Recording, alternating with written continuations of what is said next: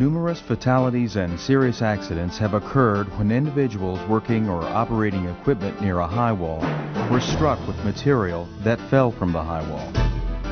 To increase your awareness of high wall safety, let's follow this supervisor as he makes his rounds at his operation.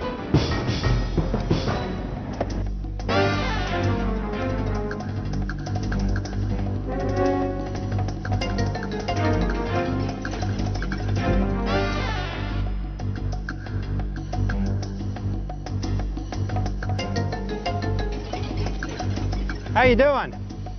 Oh, fine, and you? Real good. Come on over here a minute, would you please? Sure. Haven't seen you around before. Uh, you with Acme Tire? Oh, yeah, I'm uh, Bob Johnson. I just started with Acme about six weeks ago. It's changing a broken stud on the hub. Ah, Dan Wilson. I'm the superintendent here. Uh, did uh, somebody give you site safety training when you came out today? Yeah, when I checked in at the office, uh, a guy ran me through it. Hard hat, safety glasses, you know, the whole works. I think his name was uh, Jack Reed or something. Yeah, Jack Reeves. Yeah, he's the plant foreman. Um, did he say anything about working uh, be- between a machine and a high wall? Yeah, yeah, he did mention several things. Uh, why, is there something in particular? Well, yeah, we've got a policy. When we have a machine close to the wall, we try to move it away, or at least move it around, so that uh, we don't have anybody, you know, in harm's way working between the machine and the and the wall, in case something should should come off. I see. So you're saying I should have uh, had someone come and move this loader before I started working on that side? Or better yet, just move it across the road.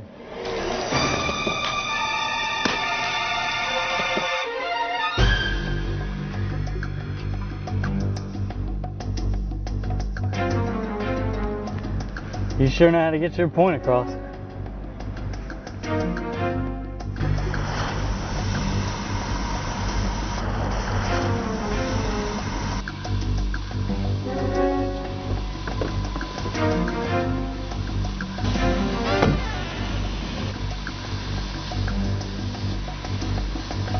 You doing, Dan? Pretty good. Why don't you come over here a minute?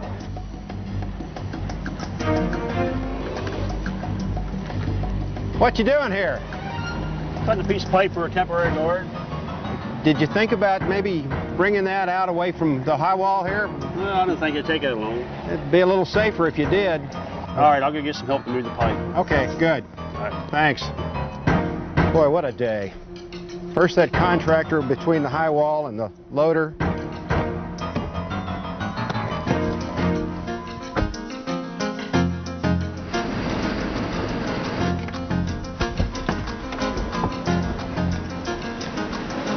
I don't believe this. This is three times today. Mac, come over here. I don't understand this. What is it today? Everybody's working under a high wall. Calm down, Dan, before you have a stroke. What are you talking about? Well, you're the third person today that I've found working under a high wall. Don't you know you could get hurt or maybe even killed? Well, you're right, but that's why I did a visual inspection of all the high walls around here before I started. But you know, you're down here by yourself. If something happened to you, it'd be forever before anybody found you. Well, that's true, but if you look behind you, Jonathan's right there. Okay, Mac, you did it by the book. But can we do something to make this a little safer in the future?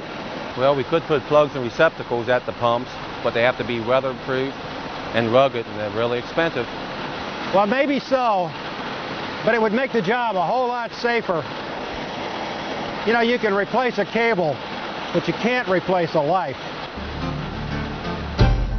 Remember, to protect yourself when working beside high walls, always keep the equipment between you and the high wall. When possible, move the work away from the high wall, and do not use the base of the high wall as an area for storing supplies or parking equipment.